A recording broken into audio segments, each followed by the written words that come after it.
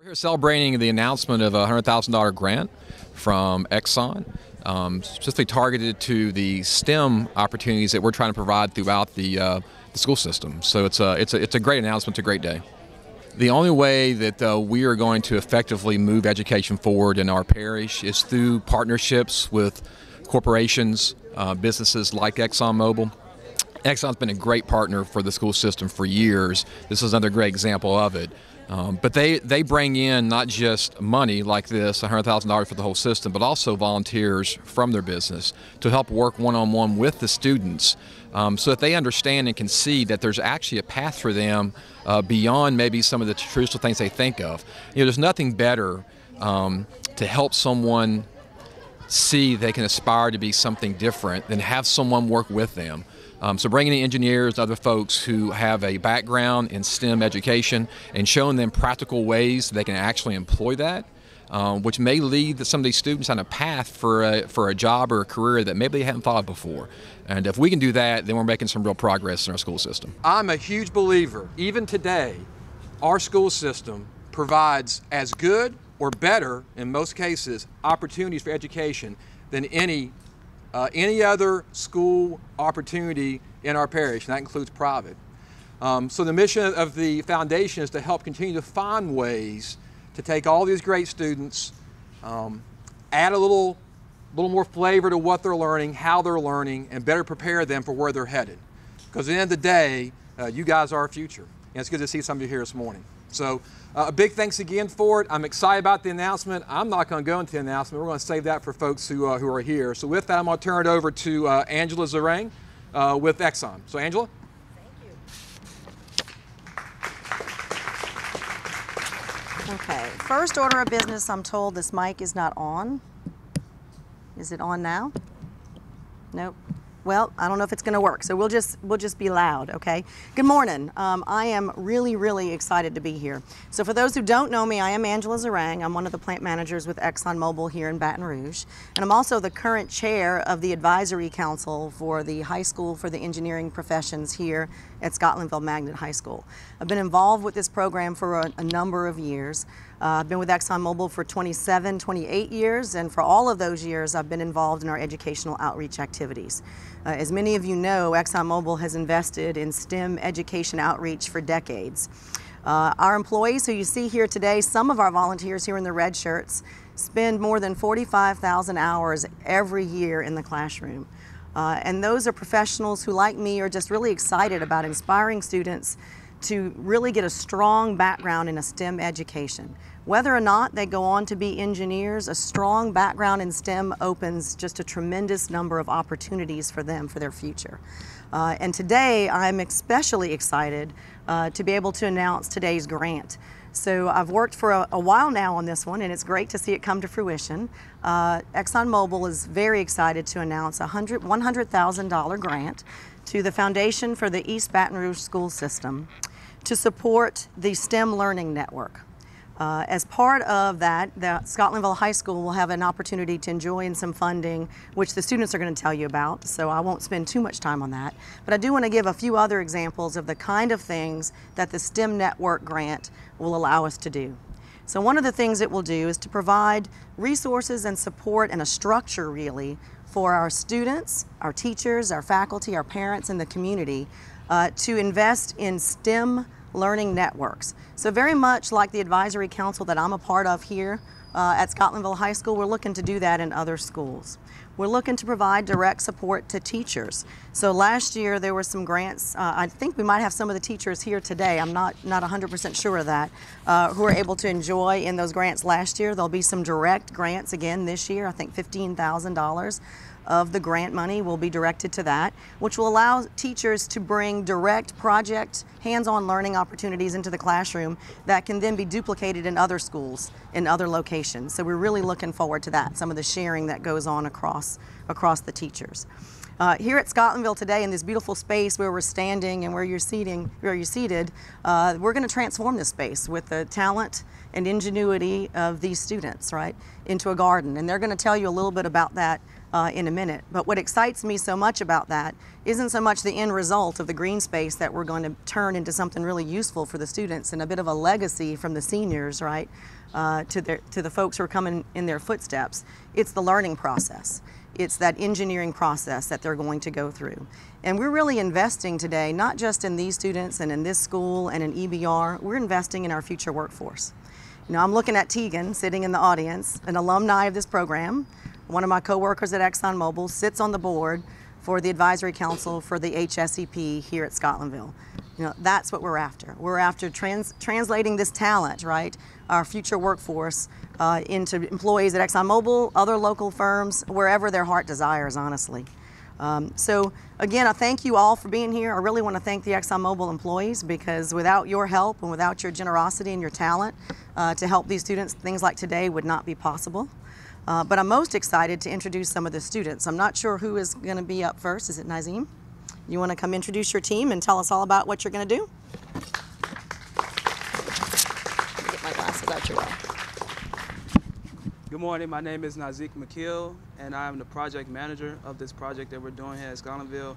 And I'd really like to introduce my team. First, we have Jacob O'Connor. He's the architectural pro program manager of the project. And Christian, who is his lead architect on the project. Then we have Elvis Richard. He's the MEP program manager for the project. And, J and Javion Pearson. She is the civil engineering program manager here on this project. I'd first like to talk about how this project came about. Originally, over the summer, I was doing an internship over at CSRS Tillage, and Ms. Arvey came to me with the, with the news that she had received a grant, a small grant from the EBR Foundation, and she is telling me how she wanted to really do something with the money.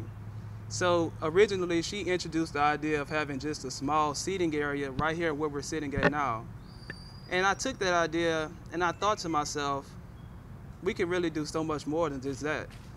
So I took the initiative to become the project manager of the project and also bring some other people with me to actually make the project happen. So with that being said, with the project, we were planning on, originally we had planned to do a koi pond and a small garden with that koi pond. But after really considering what was really logical, we knew that we had to downscale it just a little bit. So now we're planning on making a disappearing waterfall and also having a garden there. And with that, we want to also incorporate each grade level here at Scotlandville. So as you'll see here, the class of 2017, the seniors, we're gonna work on the irrigation for the garden and also the water system, which is the disappearing waterfall. The juniors are gonna work on the lighting and the solar panels. We're having this, these solar panels because this is a green project. And all the electricity that we use on the project, we wanna try to at least produce some of it naturally. Um, the sophomores are gonna work on the walking path. We're planning on having pavers, leading up to the gazebo, which is going to be the seating area, which is what Ms. Arvey originally wanted, but we added so much more to it. And the freshmen are going to work on the garden and also attracting, di attracting different nature to it, like butterflies and birds. And lastly, we came up with a name for the project, and it was leaving the, the leaving the leaf on STEM. And what that project means, first, let's break it down. Leave, leaving the leaf, a leaf symbolizes nature, and with that being said, it was more of a environmental project. So that's where LEAF comes in and STEM, which we all know, science, technology, engineering, and mathematics. So we're leaving uh, it, uh, we're leaving our mark here on Scotlandville with using STEM, but also making it a green project. And I would like to turn it over to Javion, who's gonna really go over our irrigation. One idea for irrigation that we had about the garden.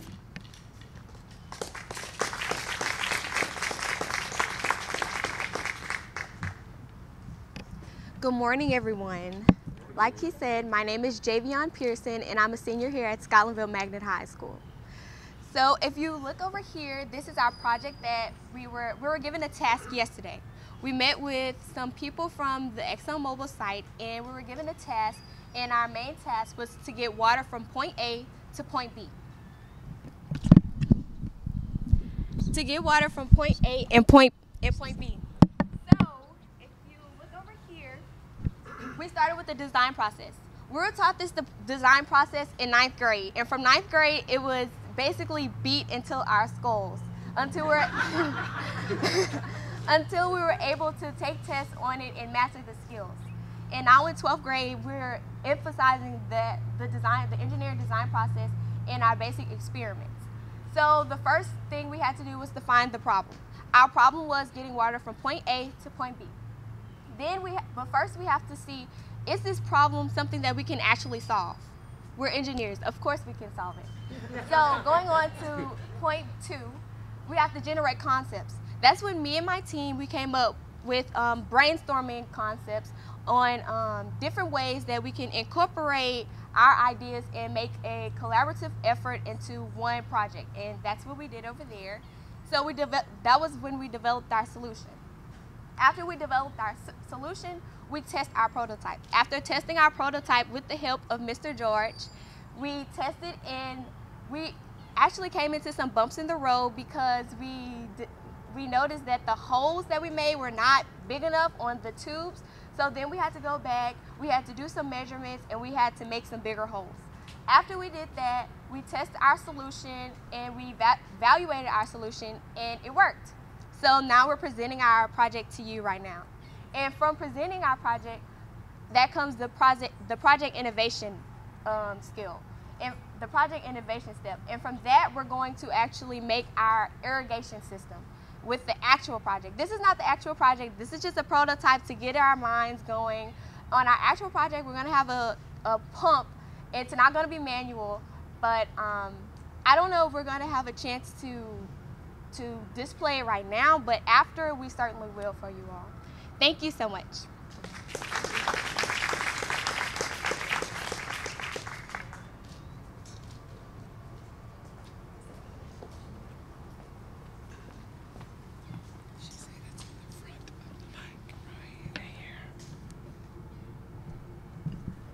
you hear it? No. I think it's this one. Hello? That one's yours? Okay. Well, I'll talk loud. How about that? Can y'all hear me? We've been trying to get this on the whole time. So I just wanted to welcome you all here this morning for this uh, really exciting announcement. Uh, my name is Keela Stovall, and I am the executive director of the Foundation for East Baton Rouge School System. And uh, this morning, I just wanted to acknowledge that our school board president, Ms. Barbara Freiberger, is here. Thank you for coming. This is a really exciting day. We've got Ms. Jada Lewis, our BESE representative, and uh, Chauna Banks Daniels who um, with the Metro Council. So thank you all for taking the time to be here, and um, we're just we're just really excited. Um, what the STEM Learning Network is is it's a pathway for STEM education K through 12 within the district. Um, the vision we have for the STEM Learning Network is that all students will benefit from a range of STEM experiences and will graduate with STEM knowledge and skills that they need for career and college and a successful future. And ultimately, that will positively impact our community and our region. The STEM network will provide opportunities that will increase relevant STEM rich experiences for students like project based mentoring, maker spaces, guest lectures and tours, internships, capstone projects, and job shadowing. Students will experience activities like robotics and chess. The STEM network will provide opportunities that will increase training for teachers and leaders and partners in our community to help build a STEM culture in all of our schools, not just um, those schools that are designated STEM schools. The STEM network will provide opportunities that will spread best practices, share resources, and communicate the vision and strategy for STEM in East Baton Rouge Parish Schools.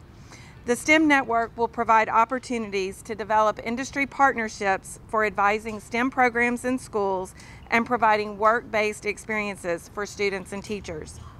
You've seen evidence this morning of the incredible student experiences that are possible when business and industry come together at a school to mentor students and cultivate the skills that they need to see themselves in STEM careers.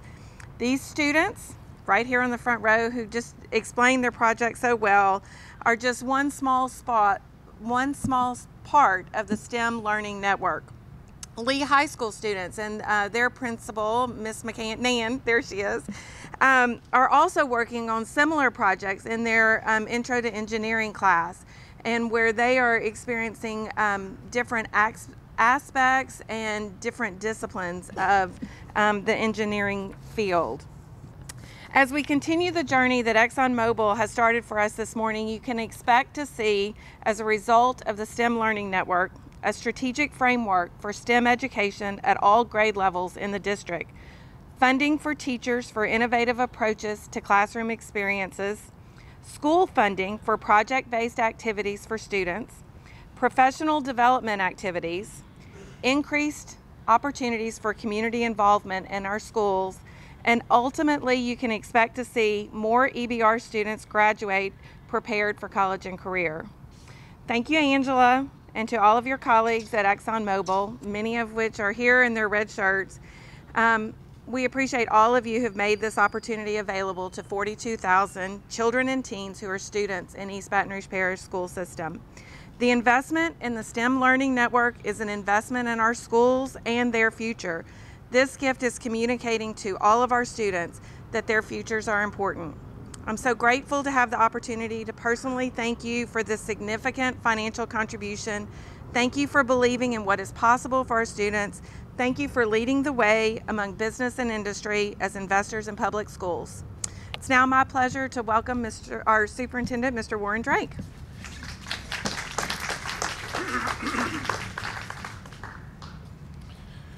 Well, thank you, Kayla, and thank you everyone for being here today. It's really uh, what a phenomenal opportunity to see these young kids here today. They're not young kids anymore. I thought they were all college, and I thought they were out working in the community already when I saw them this morning. But what a what a great example that these young men and women set for us in East Baton Rouge Parish. I want to recognize our principal, Tiffany Quiet. Tiffany, stand up and be recognized because you deserve this.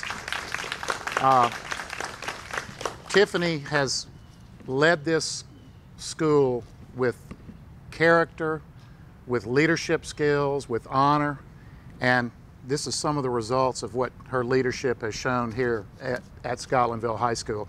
I've had the great pleasure to work with this school over the last year and a half and to see the high school engineering program at work and, and the volunteers through the advisory council that makes this really what it is. Uh, I also want to recognize our staff here today that works with Scotlandville. I appreciate all of what you do each and every day. Uh, but really, it's this today is about ExxonMobil's investment in our system and in our school, Scotlandville High and Lee High. Uh, it's phenomenal when they can come together and make an investment like this for project-based learning that teaches and allows our kids to move forward in a, a project-based environment. It's just unbelievable.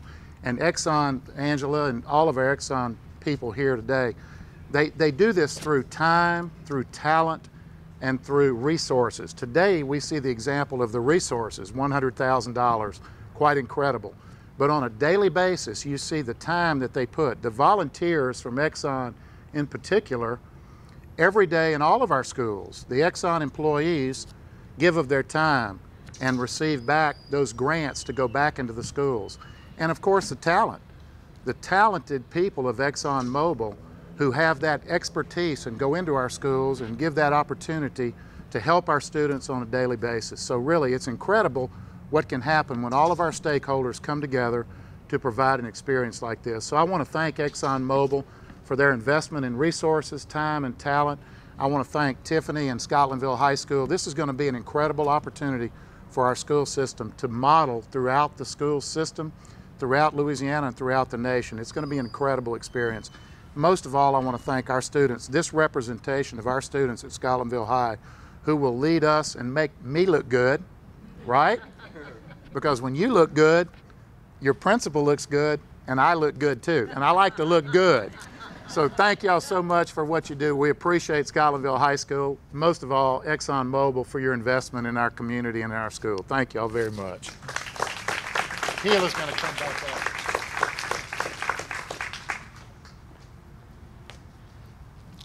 So again, I just want to thank you all, and um, I'm going to invite Miss Arvey to come up here with me real quick.